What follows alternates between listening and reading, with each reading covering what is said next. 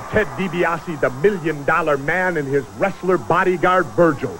Gentlemen, my staff of researchers have studied this matter very carefully, and the results we've come up with is that you seem to have clear title to Hercules.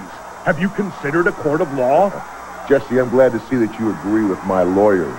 This is a capitalistic country, and when money exchanges hands, a deal's a deal.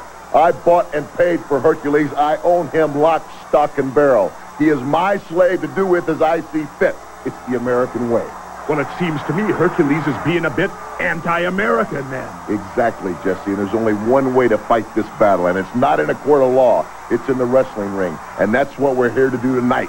Take possession of what's mine. But Million Dollar Man, with all your wrestling skills, why don't you step into the ring with Hercules and show that slave once and for all who the master is? Me? Touch a slave? Never. Does Rockefeller pump the oil from his wells? Does Donald Trump wash the windows of his skyscrapers? No. That's for people like Virgil to do.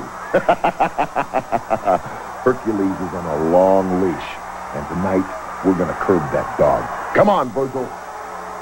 McMahon, I think George Bush should hire the million-dollar man Ted DiBiase for Secretary of the Treasury. He knows what money's all about. Back to you. All right, we're just about ready for the beginning of this matchup with the million-dollar man's Virgil against the mighty Hercules, but a little bit later on...